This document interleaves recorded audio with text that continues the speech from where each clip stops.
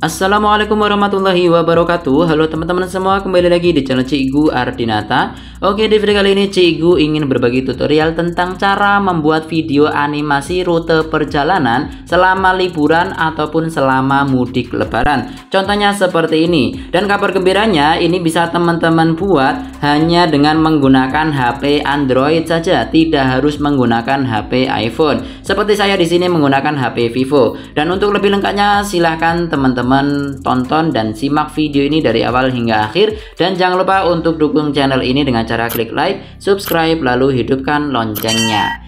Oke teman-teman langsung teman-teman buka saja untuk aplikasi Play Store. Jadi untuk aplikasi yang digunakan adalah Travel Boss. Bisa teman-teman download di aplikasi Play Store. Kemudian teman-teman install kurang lebih di sini ada 100 MB-an. Nah, setelah teman-teman download silahkan kalian buka. Nah, ini untuk yang sudah saya buat seperti di video awal tadi. Untuk menghapusnya saya hapus terlebih dahulu ya, saya klik delete. Oke, dari awal ya. Untuk yang pertama yaitu teman-teman silahkan start point ini diklik. Nah, kemudian silahkan teman-teman tentukan lokasi di mana awal perjalanan dimulai. Saya contohkan di misalkan di Jakarta karena ini momennya masih momen akan lebaran Idul Fitri. Jadi misalkan mau mudik ke Lampung ya. Dari Jakarta mau destinasinya diklik. Ini tujuannya, destination ini adalah tujuan. Misalkan ke metro, ini di Lampung. Pilih metro ini. Nah, seperti ini. Nah, Oke, kalau misalkan tujuan teman-teman itu ketika diklik di destination ini tidak muncul wilayahnya, nah silahkan teman-teman geser seperti ini saja ya. Nah, seperti ini.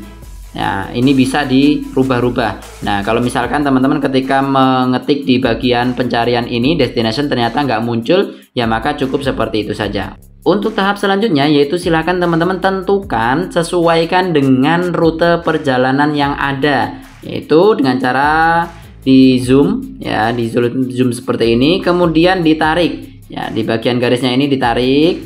Nah seperti ini.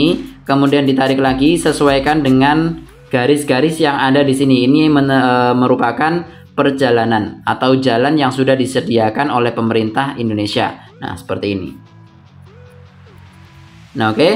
Untuk menentukan mobilnya, silahkan teman-teman klik tahan lama di bagian icon mobil ini, diklik tahan lama sampai muncul gambar seperti ini. Ya silahkan pilih mobilnya. Oke di sini disediakan yang gratisan dan juga yang premium. Kalau yang premium berarti yang ini yang bawah ini premium transport. Nah ini memerlukan eh, pembayaran. Tapi saya contohkan di sini yang gratisan saja ya. Oke di sini pakai mobil warna hijau. Kembali. Nah selanjutnya sampai di sini Nah, di bagian ini kan ini di Merak. Nah, maka harus diganti dengan kapal. Nah, untuk menggantinya yaitu silakan teman-teman klik tahan lama lagi, kemudian klik yang kapal perahu seperti ini. Nah, misalkan yang ini, kemudian sudah. Ya, tentukan lagi seperti ini. Kemudian seperti ini. Nah, di bagian ini teman-teman ganti lagi menggunakan mobil, ya, mobil warna hijau seperti ini. Oke, selanjutnya tinggal di sini menyesuaikan dengan garis atau jalan yang sudah ada seperti ini supaya lebih nyata.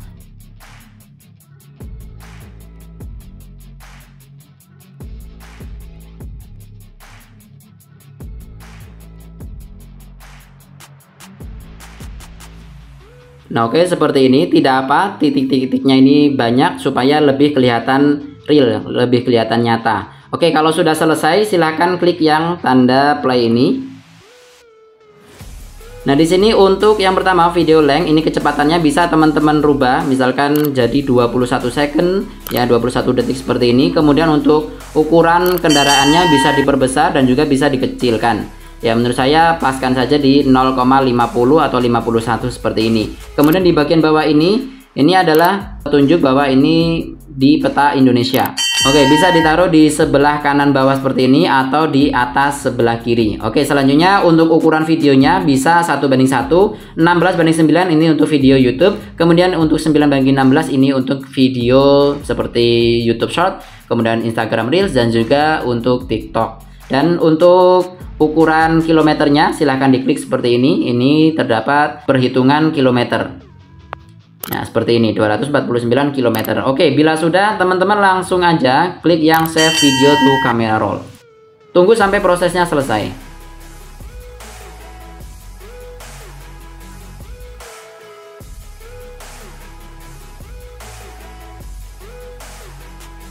Oke, di sini sudah selesai, klik yang oke. Kemudian teman-teman langsung aja ke galeri, otomatis sudah muncul di galeri. Nah, ini tinggal teman-teman edit untuk sound efeknya ya.